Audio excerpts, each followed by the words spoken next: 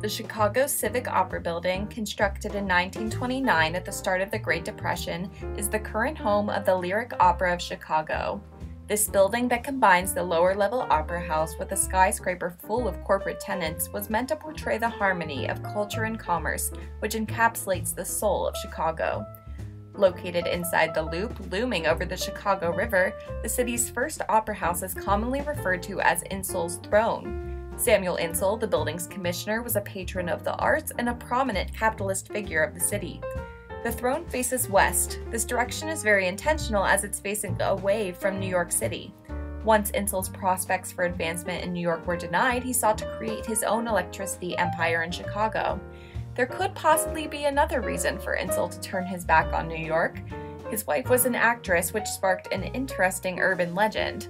The story goes that she was rejected from the New York Metropolitan Opera, and Insull built her a new opera in Chicago as a result. In addition to Insull's personal goals, Chicago's new opera house was another way for the city to match New York in culture and sophistication. Even the interior of the opera house is a testament to Chicago's separation from New York. The theater does not contain boxes where the rich can isolate themselves and thus identify Chicago as a more democratic city. The sense of equity is even more poignant in an opera theater, historically one of the most elitist art forms. Additionally, the building blends in seamlessly with the other skyscrapers that line the Chicago River. Its placement on the river emphasizes the building's importance as it flows through the heart of the city, but its design does not overpower any other building. Rather, the Civic Opera Building equally contributes to the overall harmony of Chicago's center. Insull hired the acclaimed architectural firm Graham Anderson Probst and White to achieve these ideals. The skyscraper is designed in the Art Deco style except for the lower level of the eastern facade, which has many neoclassical influences. Adorning the entrance is a sculpture by Henry Hering that features two women meant to personify the arts, a modern rendition of the Muses.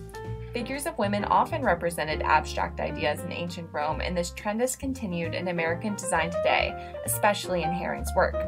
Here, they sit in repose as they welcome patrons into the House of the Arts.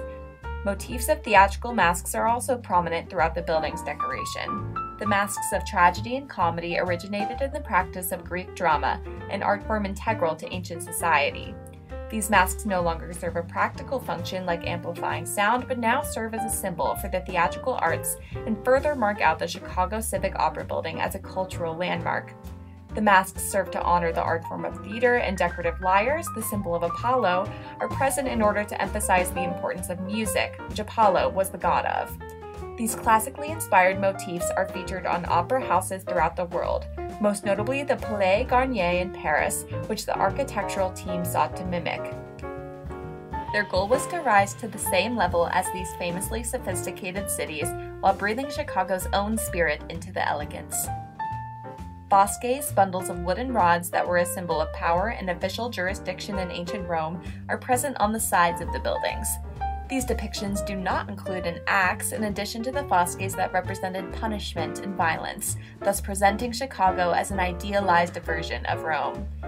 Stylized shafts of wheat are peppered throughout the sculpture as well, derived from the Roman agricultural goddess Ceres, representing the area's booming agricultural industry, which has become a symbol of Chicago's commerce altogether. The neoclassical elements are done in the Greco Deco style, combining classical and Art Deco designs. The modern style of the building, representing Chicago's innovation, pairs beautifully with its classically inspired features that represent the city's emphasis on culture. The Civic Opera Building perfectly encapsulates the way that Chicago refuses to choose between tradition and modernity, and instead embraces both principles and the identity it presents to the world.